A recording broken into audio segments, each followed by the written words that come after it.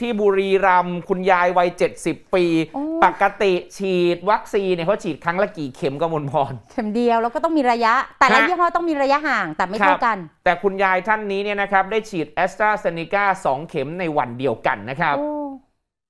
เกิดความผิดพลาดในการฉีดเนี่ยนะฮะแต่ตอนนี้คุณยายยังแข็งแรงดีนะครับ เมื่อวานนี้เองครับผู้สื่อข่าวจีเอ็นช่อง 16 ลงพื้นที่ไปพบกับนางสมหวังจูกูลอายุ 70 ปี ซึ่งอยู่ที่ตำบลสะดาวอำเภอนางรองจังหวัดบุรีรัมย์เนื่องจากว่านางสมหวังเนี่ยน่าจะเป็นคนเดียวในประเทศที่ได้รับการฉีดวัคซีนแอสตราเซเนกาจำนวน 2 เข็มในวันเดียวนะคุณ เมื่อวันที่ 14 สิงหาคมที่ผ่านมา คุณยายสมหวังบอกว่าตัวเองแล้วก็สามีเนี่ยนะฮะญาติและลูกชาย ซึ่งเป็นทนายความได้เดินทางไปฉีดวัคซีนป้องกันโควิด เข็มที่2นะฮะที่ตัวจังหวัดบุรีรัมย์ตามกำหนดนัดหมาย หลังจากที่ฉีดวัคซีนเข็มแรกไปเมื่อวันที่ 24 กรกฎาคม ซึ่งก็เป็นซิโนแวคนะครับโดยในวันเกิดเหตุเนี่ยก็มีคนไปฉีดวัคซีนจำนวนมาก ตัวเองก็นั่งรอคิว ตรวจเอกสาร วัดความดันตามขั้นตอน นอกจากนี้เนี่ยนะครับก็มีเจ้าหน้าที่พาไปฉีดวัคซีนตามช่องที่ได้เตรียมเอาไว้ ซึ่งช่วงเนี้ยสามีญาติและลูกก็จะแยกกันไปฉีดคนละจุด พอนึกออกใช่ไหมฮะคุณผู้ชมเข้าใจทุกคนก็ค่ะจะแยกกันไปนะฮะ ไม่ได้มีเข้าไปในช่องเดียวกัน พอเจ้าหน้าที่ฉีดวัคซีนให้ที่แขนข้างขวาแล้วเนี่ย ก็บอกว่าอะๆคุณยายนั่งรอสักพักหนึ่งเมื่อนั่งรอครบเวลาประมาณสัก 30 นาทีคุณค่ะเราก็ไปนั่งรอกันละ เพื่อดูว่ามันมีผลข้างเคียงหรือเปล่า ตนก็ได้เดินออกมาเอาเอกสารที่วางอยู่บนโต๊ะก่อนหน้านี้ แต่ระหว่างที่จะเดินมาเอาเอกสารมีเจ้าหน้าที่อีกคนหนึ่ง เรียกคุณยายคุณยายคุณยาย มามามามานั่งตรงนี้ฉีดวัคซีน แล้วก็ฉีดวัคซีนให้อีกครั้ง แล้วบอกว่าตัวเองเนี่ยอะถลกแขนขึ้นหน่อยคุณยาย ถลกแขนเสื้อนะ แล้วก็ยกแขนซ้ายขึ้น แล้วก็ฉีดวัคซีนเป็นเข็มที่สองให้ ซึ่งเจ้าหน้าที่ก็ไม่ได้ถามอะไร ตัวเองก็ไม่ได้ตอบเพราะเจ้าหน้าที่ไม่ได้ถาม คุณยายก็ไม่ได้ตอบอาฉีดก็ฉีดอะไรแบบเนี้ยนะฮะ แล้วคุณยายก็ไม่รู้ด้วยว่าจริงๆต้องฉีดกี่เข็ม ใช่ฮะ เพราะด้วยความโอ้ที่ไม่รู้ว่าเจ้าหน้าที่จะให้ฉีดกี่เข็มนี่แหละ ก็เลยไม่ได้คิดอะไร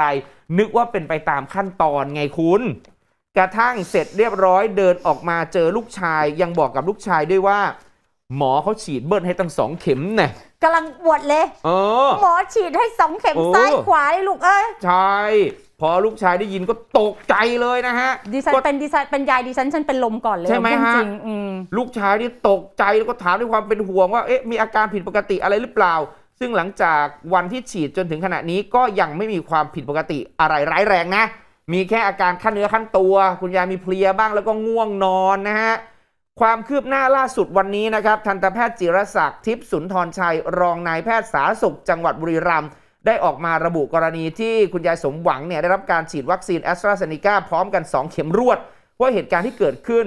สาธารณสุขบุรีรัมย์ยอมรับว่ามีการติดขัดจริง เนื่องจากว่าจำนวนผู้ฉีดวัคซีนเนี่ยมันมีจำนวนมากประมาณสัก 6,000 คน ประกอบกับยาย 70 ปี ไม่ได้แจ้งเจ้าหน้าที่ว่าตนเองได้ฉีดไปแล้วทำให้เกิดความผิดพลาดนะฮะ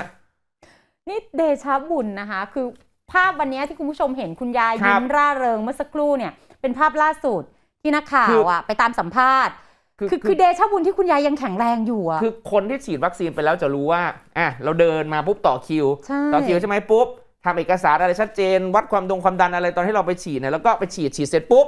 ก็จะเข้าไปในจุดนั่งพักจุดนั่งพักจะเป็นคอกๆเอาไว้ตรงนั้นนะฮะจุดนั่งพักก็นั่งตรงนั้นก็เท่ากับว่าคนที่นั่งตรงนั้นคือคนที่ฉีดแล้ว ผมเลยไม่เข้าใจว่าความผิดพลาดเนี่ยมันเกิดขึ้นได้ยังไง ว่าทำไมเรียกคุณยายที่นั่งอยู่ตรงที่พักคอยเนี่ยอืมอืมอืมที่จะครบ 30 นาทีเนี่ยทำไมเรียกกลับเข้ามาในระบบแล้วฉีดอีกรอบหนึ่งไม่แน่ใจว่าทางฝั่งของบุรีรัมย์เนี่ยเขาเขาจัดการแบบนี้หรือเปล่าฮะคือถ้าเป็นถ้าเป็นผู้สูงวัยเนี่ยครับเจ้าหน้าที่จะเดินฉีดให้ฮะพอเดินฉีดให้มันอาจจะเป็นไปได้ไงว่า เจ้าหน้าครับอาจเป็นความหวังดีอืที่มเจ้าหน้าที่อำนวยความสะดวกให้กับผู้สูงวัย คือแต่คือแต่จริงๆก็ควรถามก่อนนะคืออย่างเงี้ยระบบเนี่ยก็ควรจะต้องถามก่อน ไม่แน่ใจว่าคุณยายใส่เสื้อแบบไหนไปด้วยนะฮะและไอ้ปกติฉีดแล้วมันต้องมีปลาสเตอร์เล็ก ๆ ปิดอยู่อะ มันคนละข้างหรือเปล่าใช่ยายบอกว่าซ้ายขวา เออ เนี่ยฮะโอ้เอ้าอย่างนี้ครับ ถ้าเกิดอะว่าใครพาคุณยายผู้สูงอายุไปเนี่ย ต้องให้คุณยายมีความรู้นะ ว่าใช่ยายกมลพรอ่าคุณยายถ้าฉีดแล้วเนี่ยเข็มเดียวเข็มพอเดียวพอนะนะ อย่าให้เขาฉีดสองเข็มนะจ๊ะอืมให้ความรู้คุณยายไว้หน่อยค่ะซึ่งความผิดพลาดที่เกิดขึ้นนะครับเป็นครั้งแรกทางสาธารณสุขเองได้นำความผิดพลาดนี้มาปรับปรุง และแก้ไขปัญหาก็คือหลังจากนี้ผู้ที่มีใบฉีดวัคซีน จะต้องถือ วัคซีนใส่ตะกร้า ไปให้หมอฉีดด้วยตนเอง โดยจะมีการวางแผนให้รัดกลุ่ม และจะไม่ให้เรื่องนี้เกิดขึ้นอีกค่ะต่อไปต้องถือถือและให้เจ้าหน้าที่ฉีดอืม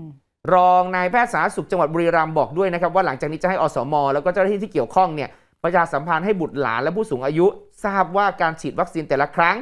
ครั้งละหนึ่งเข็มเท่านั้นเพื่อป้องกันความเสี่ยงอย่างที่บอกค่ะอสมคงต้องเคาะประตูหน้าบ้านบอกโอ้คุณยายเอ้ยเวลาไปฉีดเนี่ยก็เข็มเดียวเท่านั้นเด้อเข็มเดียวนะคุณยายอืมคุณยายอย่าไปให้เจ้าหน้าที่เขาฉีดสองเข็มเด้อเข็มเดียวก็ยังว่าคุณยายทกแขนเสือปุ๊บให้เขาปักปุ๊บคุณยายรอตรงพักค่อย 30 นาทีเสร็จปุ๊บเมื่อบ้านเลยอย่ามาฉีดอีกซ้ำสองอ่า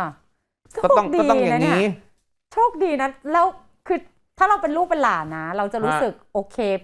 ปลอดภัยมั่นใจได้เพราะว่าครับนี่ก็ผ่านมาหลายวันแล้วคุณยายอืมยังยิ้มหัวเราะอยู่เลย หัวเราก็ะโอเคเลี้ยงหัวได้อยู่เนาะคุณยายเนาะอ๋อโอ้ยเจ้าได้ตั้งสองเข็มผู้อื่นเขาได้เข็มเดียว ขอให้ปลอดภัยครับนะคะคุณยายค่ะ